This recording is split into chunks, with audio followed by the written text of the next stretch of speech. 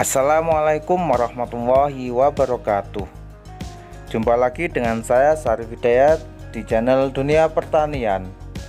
Buat teman-teman yang ingin membudidayakan alokasia Ini merupakan alokasia dragon silver atau silver dragon Dan sering juga disebut dengan keladi tengkorak.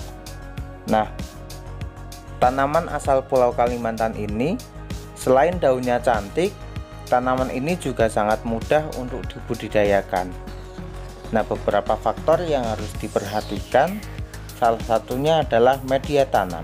Media yang kita gunakan adalah tanah, kotoran kambing, dan juga sekam mentah. Nah, media ini merupakan media yang subur dan juga porus sehingga medianya tidak akan mudah keras atau bantat dan tanaman akan subur. Selain media tanam yang perlu diperhatikan juga adalah pot. Kita harus memastikan bahwa pot kita mempunyai lubang yang cukup. Nah ini adalah akar yang tumbuh sampai bawah. Nah ketika potnya cukup lubang maka media tanam tidak akan basah tidak akan terlalu lembab sehingga akan tersedia pori-pori mikro untuk oksigen. Dan yang terakhir perlu kita perhatikan juga adalah pemupukan atau pemberian pupuk. Nah pupuk ini pupuk racikan sendiri yang kita berikan satu minggu sekali dengan cara dikocorkan langsung kepada medianya. Pastikan juga bahwa air yang diberikan kepada medianya itu akan menembus media bagian bawah dengan cara seperti ini.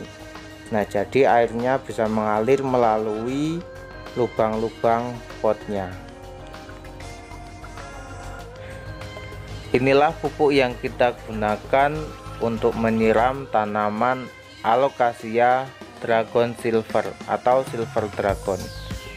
Selain juga untuk membuat tanamannya subur pupuk ini juga berfungsi memberikan nutrisi yang lengkap kepada tanaman agar tanamannya juga sehat dan terhindar dari berbagai macam penyakit.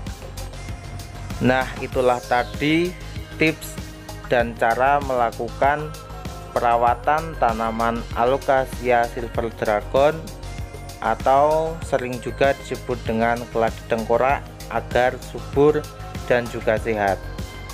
Terima kasih sudah menyaksikan video kami. Jangan lupa like share dan subscribe. Semoga video ini bermanfaat.